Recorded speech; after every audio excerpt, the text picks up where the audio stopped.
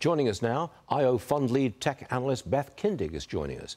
Beth, um, I want to know how much money is going to be spent on AI and these data centers. I understand we're talking about $100 billion.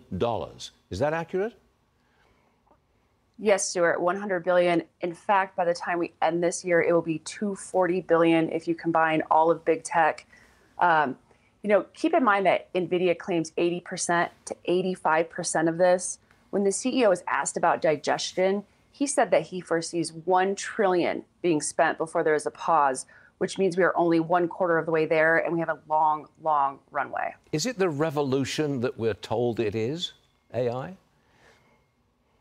Absolutely. It will change every industry as we know it through automation. And big tech is not spending in order to be the first, they're spending to make sure they are not the last. This is about extinction. Hmm. What's the demand like for Blackwell, these Blackwell chips, down the road?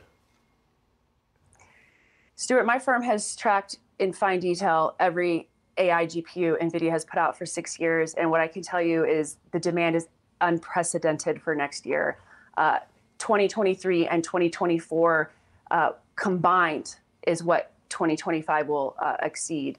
So to quantify that, uh, Blackwell is already sold out next year, and we're tracking 40% pricing power. That's what's ahead of us, and it will begin in one quarter. I'm reading between the lines, Beth, and it looks to me like you're suggesting that stock goes much higher than it is now. Absolutely. Uh, years ago, I said NVIDIA would surpass Apple, and I delivered on that two years early. My prediction today is that NVIDIA will be a $10 trillion company by 2030. And frankly, that is too low. 10 trillion by 2030, which is all of six years away. It's about just under 4 trillion now.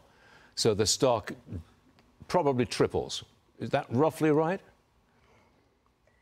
It triples. And again, I think that's too low. That's the information I have today. We have a very quick product roadmap, never been done before, coming out every year. What that means is we're only going to accelerate uh, the level in which NVIDIA is meeting this demand. Beth Kindig, you're a star, and we hope you're right. Beth Kindig, come and see us again soon, please. Love to have you back. Thanks very much for being here today. Thanks, Sure thing.